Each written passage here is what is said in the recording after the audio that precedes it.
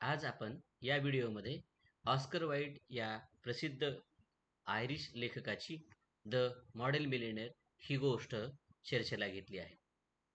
या गोष्टीमध्ये या ऑस्कर वाईल्डने महत्त्वाच्या ज्या गोष्टी सांगितलेल्या आहेत त्यांची आपण चर्चा करणार आहोत.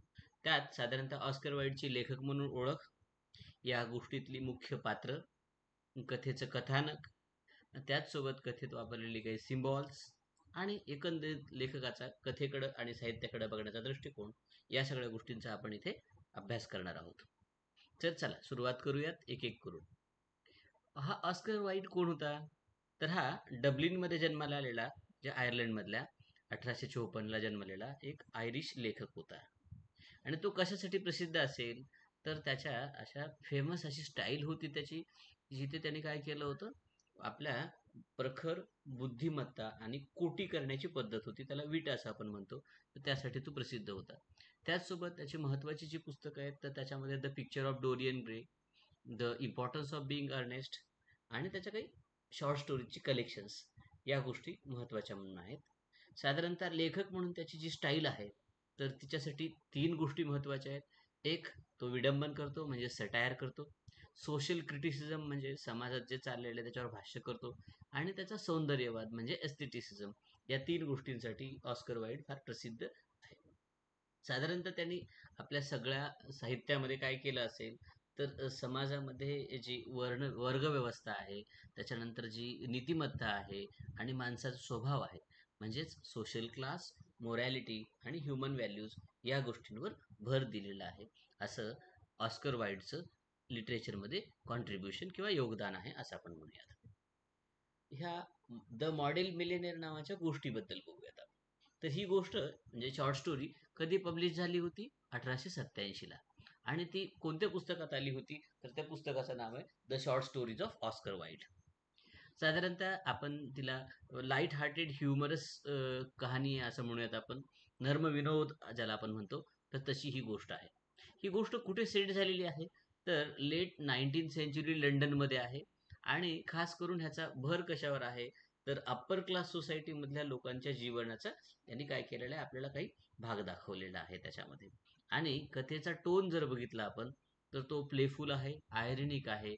आणि मध्येच आपल्याला सगळ्यांना एक मॉरल मेसेज द्यायचा त्या गोष्टीला. अशी ही साधारणतः ऑस्कर वाईडने लिहिलेली द मॉडेल मिलेनर नावाची कथा आहे. या कथेचं मुख्य सूत्र काय असेल बरं? तर कथेचं कथानक असं आहे की ही अर्नस्किन नावाचा एक तरुण मुलगा असतो जो परफेक्ट आहे पण त्याला काय नाहीये रोजगार नाहीये. दिसायला खूप छान हँडसम माणूस आहे पण हाताला त्याच्या काम नाही आणि त्यातल्या त्यात दुष्काळात तेरावा महिना तो पडला लॉरा मर्टन नावाच्या तरुणीच्या प्रेमात. मग काय त्याच्या अडचणी आणखी वाढणार की नाही? दरम्यानच्या काळात तो काय करतो आपला ॲलन ट्रेव्हर नावाचा त्याचा मित्र असतो. आणि त्या मित्राच्या स्टुडिओत जातो आणि तिथे एक भिकाऱ्याच्या रूपातलं मॉडेल ज्याची पेंटिंग करत असतो ॲलन ट्रेवर त्याची भेट होती. मग या पठ्ठ्याला म्हणजे ह्यू अस्किनला त्या गरीब माणसाला मॉडेलला बघून बेगरला बघून त्याची दया येते आणि तो आपल्या खिशातला एक छदाम म्हणजे एक नाणं काढून त्या मॉडेलला देतो. मग नंतर कधीतरी ह्यूला कळतं की ज्याला आपण भिकारी समजून एक नाणं दिलेलं आहे तर तो भिकारी नाहीये तर तो तर एक मिलेनियर आहे. म्हणजे लक्षाधीश माणूस आहे. त्याचं नाव बॅरन हाऊसबर्ग आहे. मग मात्र त्याची पंचायत होते. पण उलटी गोष्ट होते. बॅरन हार हाऊसबर्ग आहे तर तो काय करतो? ह्युईला दहा हजार डॉलर्सची किंवा पाऊंड्स द्यायची जी अट होती लॉरासोबत लग्न करायला त्यासाठी लागणारी रक्कम देण्याचं कबूल करतो. पहा गंमत आहे की नाही गोष्टीमध्ये? ज्याने एक सावन दिलाय त्याच्या बदल्यात त्याला काय भेटलेत? टेन थाउजंड पाऊंड्स भेटलेले आहेत. तर ही खूपच मोठी गोष्ट आहे मला वाटतं. आणि हीच गोष्ट आपण लक्षात ठेवली पाहिजे. म्हणून ही करुणेची दयेची आणि माणुसकीची गोष्ट आहे. या कथेतले मुख्य पात्र कोण आहेत तुम्हाला आतापर्यंत माहीतच झालंय. जसं की कथेचा नायक आहे हिरो आहे त्याचं नाव आहे ह्यू आस्किन तर तो कसा आहे? तो चांगला माणूस आहे पण आर्थिकदृष्ट्या अडचणीत आलेला आहे फायनान्शियली स्ट्रगल करणारा माणूस आहे. दुसरी गोष्ट आहे माणूस म्हणून चांगला आहे कारण त्याच्यामध्ये माणुसकी आहे आणि सगळ्यात महत्वाचं जनरसनेस म्हणजे दातृत्व आहे. दुसऱ्याला देण्याची कुवत नसली तरी इच्छा मात्र खूप आहे त्याची. हे एक विशेष आहे. त्याचसोबत तो काय सिम्बोलाइज करतो? तर त्याचं स्वभाव किंवा त्याचं पात्र आपल्याला इनोसन्स आणि गुडनेस या दोन गोष्टी सुद्धा आपल्याला हिवीमध्ये खचाखच भरलेल्या दिसतात. दुसरं महत्वाचं पात्र या कथेतलं आहे लॉरा मर्टन नावाचं. ती कोण आहे? तर साहजिक आहे की आपल्या कथेची ती नायिका आहे आणि आपल्या कथेचा नायक ही तिच्या प्रेमात पडलेला आहे आणि ती कशाचं प्रतीक असेल? तर ती पारंपरिक सौंदर्याचं आणि समाजातल्या ज्या काही एक मुलीकडनं अपेक्षा आहेत त्या अपेक्षा तंतोतंत पूर्ण उतरणारी अशी ती मुलगी आहे लॉरा मर्टन. ती कर्नल मर्टन यांची मुलगी असते.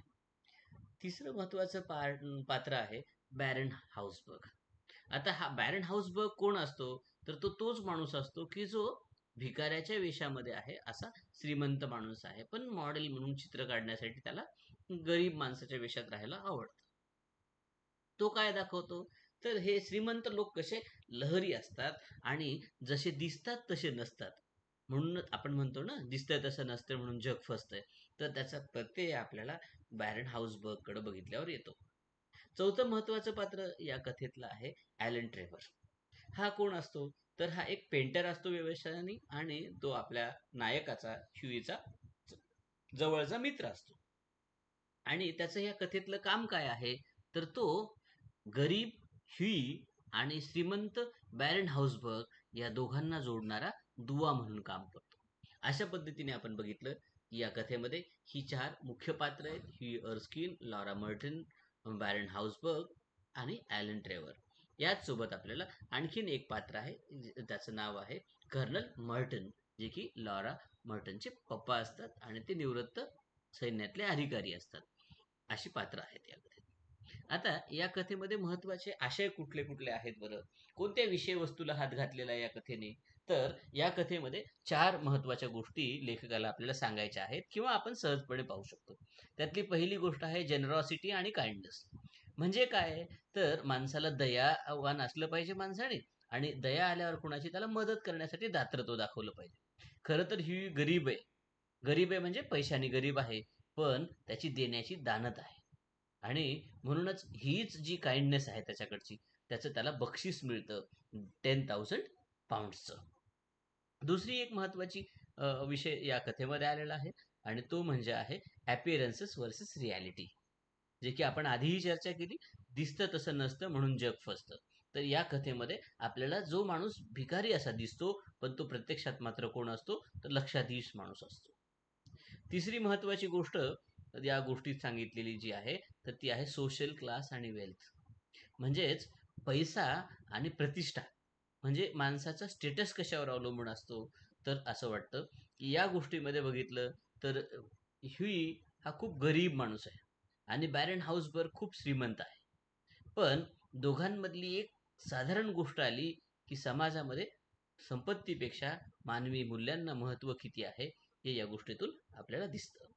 शेवटची आणि अत्यंत महत्त्वाची गोष्ट आहे ही स्टोरी आपल्याला काय शिकवते?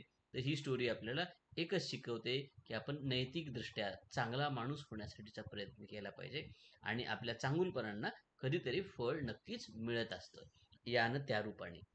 अशा पद्धतीने या काही थीम्स आहेत द मॉडेल मिलेनियर या स्टोरीच्या आता या गोष्टीमध्ये काही सिम्बॉल्स सुद्धा आलेले आहेत. म्हणजे प्रतीक आहेत. आपल्याला सगळ्यांना माहिती आहे की काही काही काय असतात सिम्बॉल्स असतात आपण समजून घ्यायचं असतं. समजदार के लिए इशारा काफी आहे म्हणतात त्याप्रमाणे. आता द बेगर हाय तर तो काय स्टँड करतो बरं? तर तो काय की खूप वेळेला लोक वरवर ज्या गोष्टी दिसतात त्याच्यावर जातात. आणि जर आपण वरवरती दिसणाऱ्या गोष्टींवर गेलो तर आपण फसणार आहोत हे नक्की आहे. जसं की आपल्या कथेचा नायक ह्युई सुद्धा फसला होता. त्याचसोबत हा बेगर काय दाखवतो तर सामाजिक वर्ग जे आहेत वेगवेगळे गरीब श्रीमंतांची दरी आहे. तर ही पण त्या भिकाऱ्याच्या रूपाने आपल्याला पाहायला मिळते. म्हणजे एकच माणूस दोन वेगवेगळी रूपं घेऊन समोर येत असतो तो म्हणजे द बेगर किंवा दुसरं म्हणजे बॅरन हाऊसबर्ग ओके. आता दुसरी महत्वाची गोष्ट आहे तिथे आलेलं नान म्हणजे द सावज. तर हे सावरेन जे आहे तर ते काय आहे? तर ते कशाचं प्रतीक आहे? तर चांगुलपणाचं प्रतीक आहे. म्हणजे ज्याच्या खिशात फुटकी कवडी नाही तो माणूस अजिबात स्वतःचा विचार न करता जी काही खिशातले छदाम पैसे आहेत तर ते दुसऱ्याला द्यायला तयार होतो. तर थोडक्यात काय आहे? तर हे पैसा नाहीये तर त्यात माणुसकी आहे. आणि म्हणून माणुसकीच ही खरी संपत्ती आहे. दातृत्व किंवा दुसऱ्याला देण्याची दानत असणं ही खरी संपत्ती आहे हे सुद्धा आपल्याला त्या सावनच्या रूपाने कळतं. त्यासोबत तिसऱ्या महत्वाचं गोष्ट आहे ती म्हणजे बॅरन हाऊसबर्ग.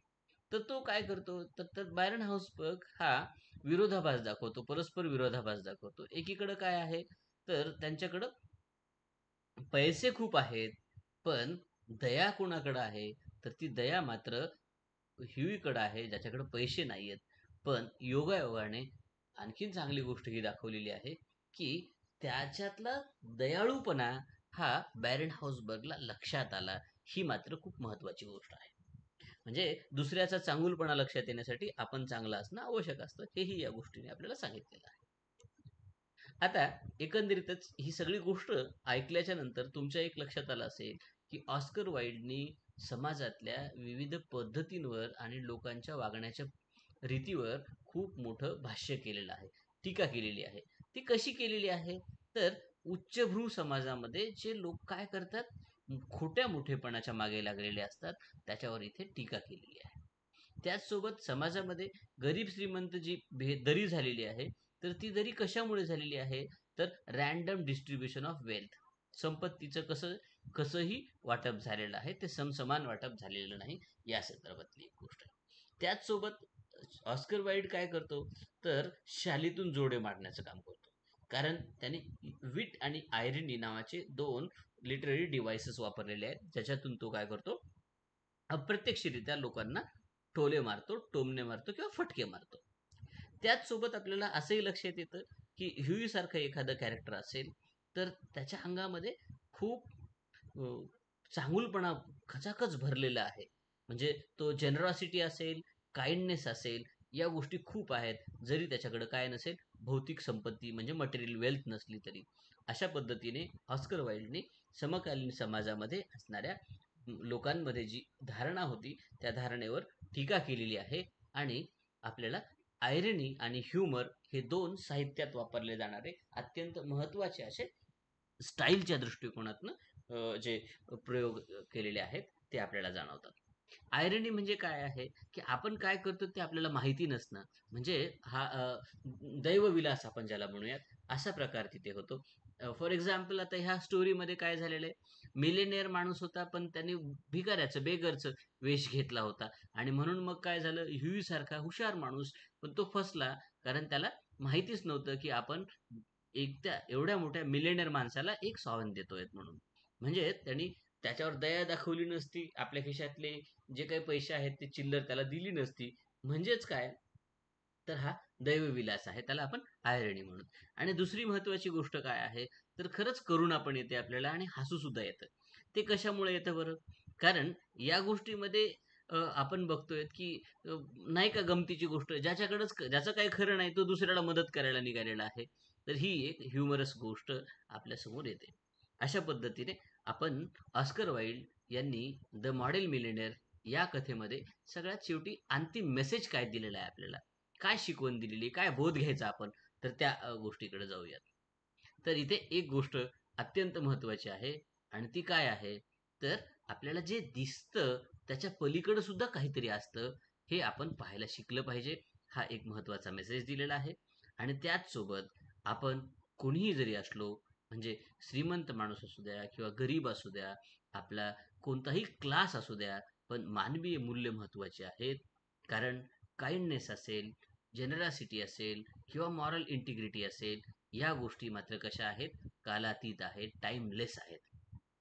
जगात तुम्ही मी असाल नसेल हे माहिती नाही पण नक्कीच एक गोष्ट असणार आहे आणि ती म्हणजे मानवीय मूल्य असणार आहेत याची आपल्याला ऑस्कर वाईल्डनी जाणीव करून दिलेली. तर विद्यार्थी मित्रांनो अशा पद्धतीने आपण बघितलं की ऑस्कर वाईल्डची द मॉडेल मिलेनियर ही अत्यंत महत्वाची रंजक अशी कहाणी आहे आणि ती तुम्हाला नक्कीच आवडली असणार आहे. त्याचसोबत तुम्हाला जर हा व्हिडिओ आवडला असेल तर तुम्ही असेच नवनवीन व्हिडिओ बघण्यासाठी आपल्या चॅनलला सबस्क्राईब नक्की करा.